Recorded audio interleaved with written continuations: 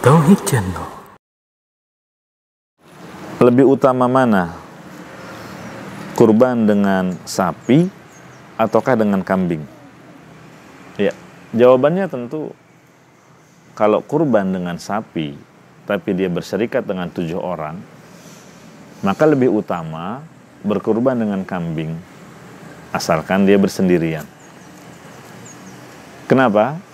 Karena yang diinginkan dari kurban adalah bukan untuk dagingnya, tetapi untuk takarrub kepada Allah, mendekatkan diri kepada Allah.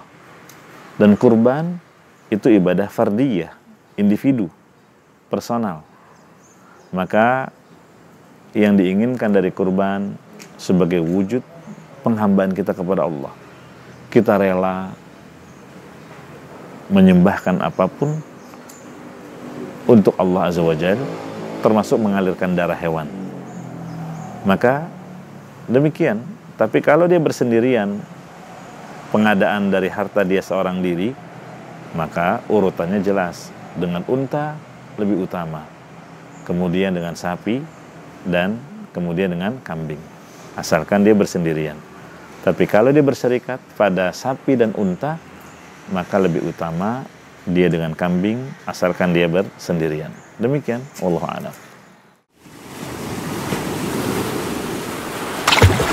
Tauhid Channel.